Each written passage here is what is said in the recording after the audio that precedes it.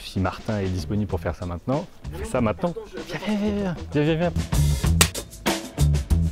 On se trouve euh, au cimetière, euh, qui est censé être dans un petit village euh, en Alsace que nous on avait situé à Bursch. Et les deux femmes, la sœur et la belle-sœur, sont en train de nettoyer la tombe où a été enterré le mari de Juliette Binoche. Et donc ces deux femmes sont là, je dirais dans l'exercice de leur fonction habituelle.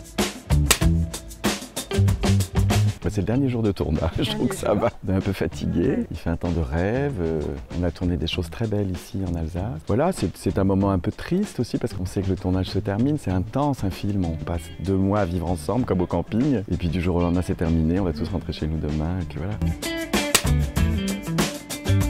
J'avais imaginé que le film se passait en, Alsace, parce que comme on est dans la fin des années 60, juste avant 68, le film se passe en 67. Toutes ces femmes euh, vivent un peu en dehors du temps. Moi, je viens de Bretagne, donc euh, j'imaginais que l'Alsace c'était un peu comme la Bretagne, c'était un peu loin de tout. Et en plus, il y avait encore l'influence de, la guerre, cette position un peu ambiguë de la France vis-à-vis des, Alsaciens. Tout ça, ça me paraissait important de, de montrer qu'on est en 67 encore pas si loin que ça de la guerre.